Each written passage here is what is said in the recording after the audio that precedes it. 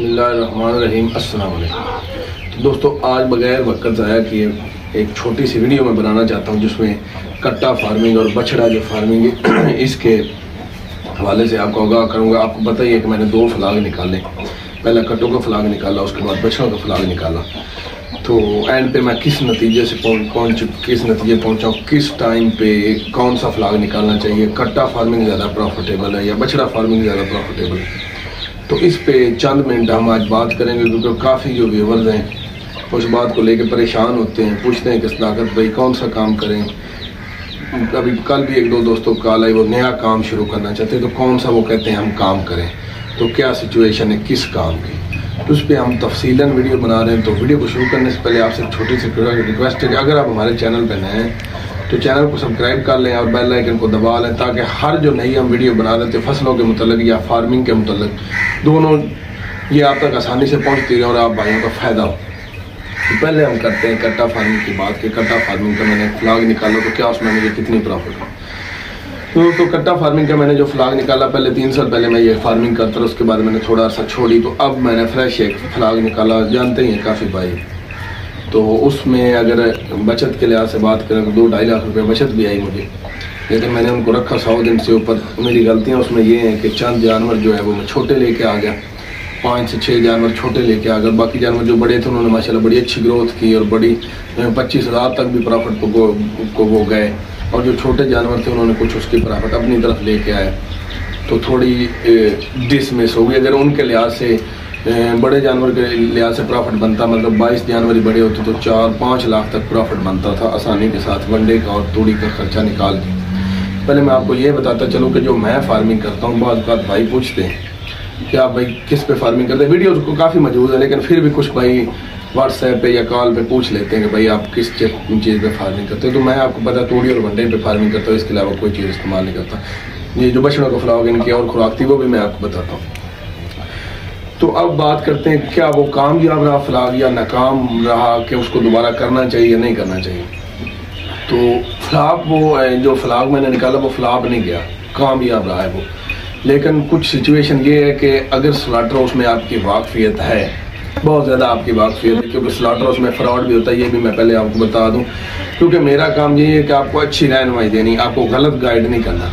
गलत गाइड अगर करूँ, आपका नुकसान हो जाए तो जहरी बात है, मेरा नुकसान है फार्मर किसी का नुकसान होता है। अगर स्लाटर हाउस में सही तरीके से कट्टे लग जाएँ तो फिर तो ठीक है।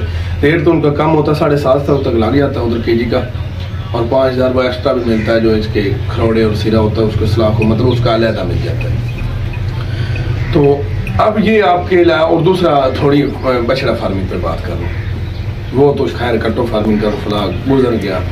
उसमें ढाई लाख प्रॉफिट भी हुआ। मैंने इधर सेल भी किया मेरी गलतियाँ से इससे ऊपर भी मुझे प्रॉफिट मिल रहा था, लेकिन तब मैंने सेल नहीं की।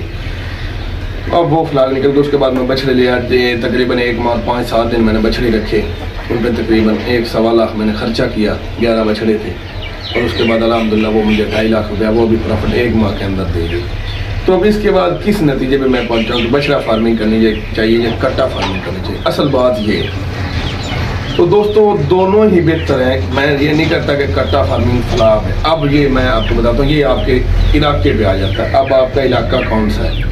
ये आपने खुद डिसाइड करना अगर आपके इलाके में कट्टे की लागत है, कसाई अच्छे तरीके से उसको खरीदता है, कट्टा अच्छे दामों सेल हो जाता है मतलब जैसे आप मुँह से निकालते हैं, अच्छे व्यापारी आपके इलाके कुछ इलाके उनमें व्यापारी नहीं होते इतने अच्छे, वो रेट नहीं देते। अगर कट्टों का अच्छा गाहक आपके पास है तो फिर आपने कट्टे ही निकालने कट्टों में अच्छी प्रॉफिट है। लेकिन दूसरी तरफ़, अगर आपका ये नहीं है तो फिर आपने आ जाना बछड़ा फ़ार्मिंग की तरफ़। बछड़ा फ़ार्मिंग और उसके बाद आप ढूंढे स्लाटर उसमें बाग, फिर कुछ आदमी हैं इधर भी इतमाद वाले, मैं भी आपका शायद रबता करवा दूँ। तो आप ढूंढें वो जो मतलब इतमाद वाले लोग हैं जिनके स्लाटर उसमें वाक फिर तो फिर आप बछड़े डालें, बछड़ा 900 प्लस सेल हो रहा है, नौ सौ रुपये प्लस के जी तो वो छत्तीस हज़ार रुपया का बनता है। बछड़े अगर क्रॉस में हमें अच्छे दामों मिल जाए मतलब चाहे पैंतालीस हज़ार से पचपन हज़ार की रेंज में अच्छा बछड़ा मिल जाए तो वो डालें तीन मांग को रखें तो वो मेरे ख्याल से तीस से पैंतीस हज़ार रुपया छोड़ जाएगा एक बछड़ा। अब ये दो दोनों की मैंने बात कर ली। अब क्या सारा साल ही बछड़ा फ़ार्मिंग करनी चाहिए?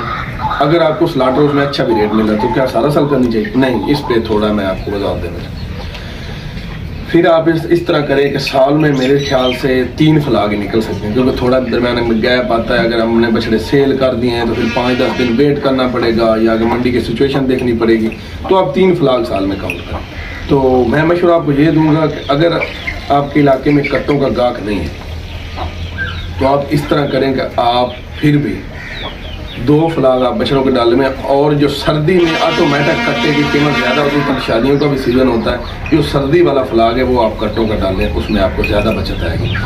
अब क्यों सर्दी वाला फ्लाग कट्टों का डालना है, वो मैं आपको बता देता हूँ। दोस्तों, जब सर्दी आती है तो जो बछड़ा है, ये ग्रोथ नहीं करता, सुगड़ जाता है। मतलब इसको सर्दी बहुत ज़्यादा फील होती है, और कट्टा जो है, वो सर्दी बर्दाश्त करता है। तो सर्दी वाला फ्लाग आप निकालें, कट्टों का और बाकी जो फ्लाग है वो आप बछड़ों के निकालें और उसको स्लाटर उसके बाद सर्दी में अगर आप बछड़े डालेंगे तो मेरे ख्याल से आपको उसमें इतनी बचत नहीं आएगी बचत आएगी, लेकिन थोड़ी आएगी। सर्दी में कट्टा थोड़ा सख्त जान होता है, ये सर्दी बर्दाश्त कर लेता है।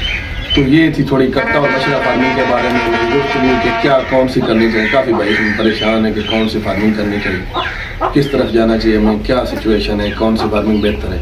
तो मैंने कहा इस पर वीडियो बना के आप भाइयों को बता दूँ। तो यही थी मेरी शार्ट सी वीडियो इसके बारे में। तो दोस्तों, मैं आपके साथ इसी तरह की अच्छी अच्छी वीडियो शेयर करता रहता हूँ। अगर आपको मेरी वीडियो अच्छी लगी तो आपने वीडियो को लाइक करना और चैनल को सब्सक्राइब करना और बाकी फार्मर भाइयों के साथ भी लाजमी शेयर करना, ताकि जो भाई देख रहे हैं, उनका फ़ायदा हो सके और अगले किसान भाइयों फार्मर भाइयों तक भी पहुँच सके, उनका भी फ़ायदा हो सके। तो इसी के साथ ही मुझे इजाज़त नहीं, हाजिर होगा अगली वीडियो में। तब तक के लिए अपना और अपने चैनल का ख्याल रखिएगा। अल्लाह हाफिज़।